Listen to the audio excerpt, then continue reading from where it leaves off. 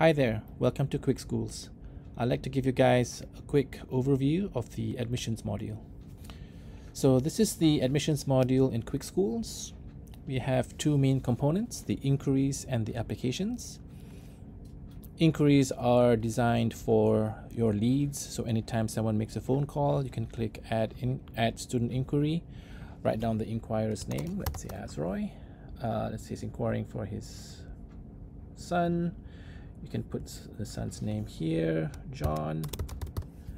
Click save, and then that saves the record. Um, so the cool thing about inquiries is there's this comment section, so you can add anything you want to add about the student or the inquiry, I should say. Uh, let's say uh, Azroy is interested in financial aid. Okay. Uh, you can also um, add your own custom fields. We support a variety of custom fields for many of our of our modules. Um, right, and then when you click save, here's your list of inquiries. Save and close. Here's the list of inquiries. Um, you can change the status here. So if you change the status to convert it to application, save it, it actually moves it to a student record. So student record has way more fields uh, add whatever details you want, click save, and now it moves over to the list of applications. So here's John. Um, so this is your applicants. You can also manually create an, an, uh, a student application here by clicking add uh, student application. Uh, access an existing one by clicking on the record. Um, this tool supports custom fields, so you can create any number of custom fields for the student. Uh, this tool also has the application status, so you can create your own statuses. Um, and if you save the application as enrolled, uh, it'll move the student record to the list of students that you have enrolled in your account. So a couple things to note. Um, both the inquiries and the application supports uh, embedded HTML. So over here on the right hand side, if I click this link, uh, this is JavaScript code which you can copy copy to your website, enable fields uh, to be visible, and even add your own custom fields, and uh, set up a notification email so that if someone submits a form, uh, you get notified on your email.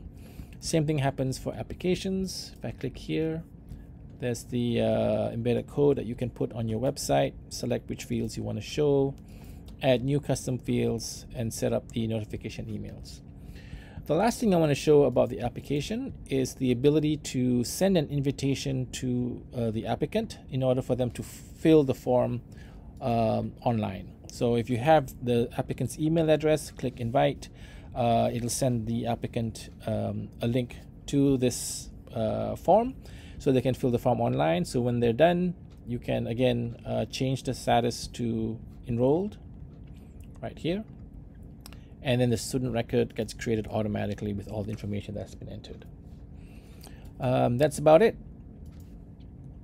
So in summary, um, the admissions module within QuickSchools support inquiries and applications.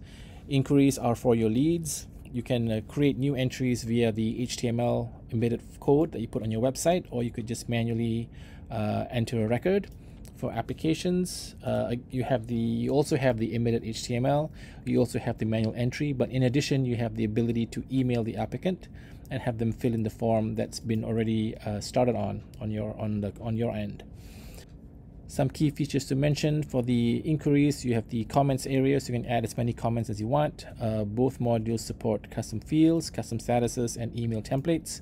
And the application supports uploading of files so as part of the application process. And uh, you know you use the statuses to move the record from inquiry to application and from application to enrolled student. If you have any questions uh, please chat with us online. We look forward to hearing from you. Thanks